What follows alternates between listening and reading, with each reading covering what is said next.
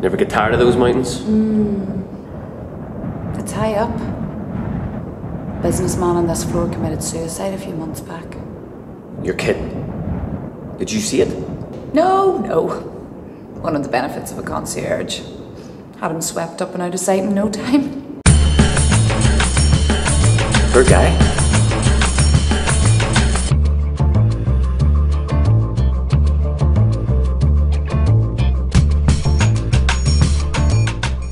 Dating the rules. Rule one, don't bring them back to your flat.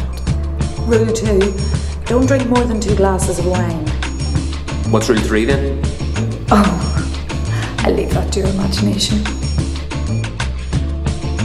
I was a partner in a really big firm, then I got divorced, threw the head up and left.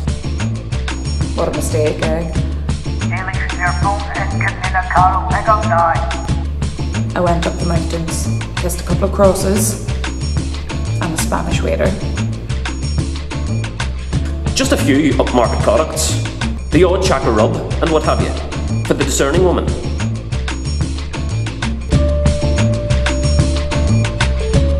It's not like a Hugh Hefner and Bunny Girl Heaven or anything. Not that I think that would be heaven. It'd be a nightmare, really. No, Only case against a factless agent. Won't take long. Your body's the only place you will ever truly live. Big juicy burgers dripping in cheese and moist onions and jalapenos. A crunchy Tayto sandwich. A hot, steamy pasty bop. I can't actually get to my laptop at the minute. I'm a bit tied up here. I'll call you back in three minutes, promise.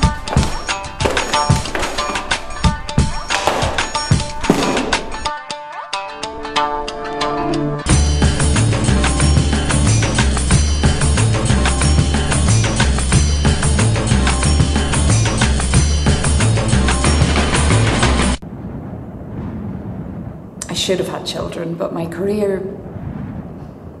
Having kids is a real achievement. Well, unless they grow up to be murderers.